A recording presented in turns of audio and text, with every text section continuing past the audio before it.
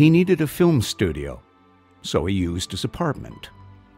He needed an 1850s set, so he built it. He needed actors, so he asked his circle of seasoned UBCP members.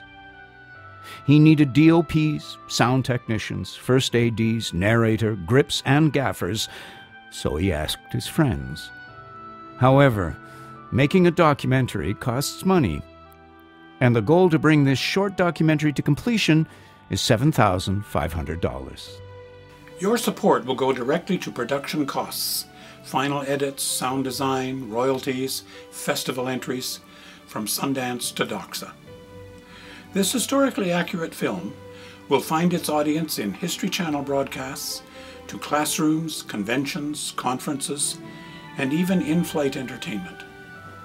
The Grand Gamble is the story of Victoria Hall, the splendid 19th century town hall of Cobourg, possibly Canada's finest neoclassic building.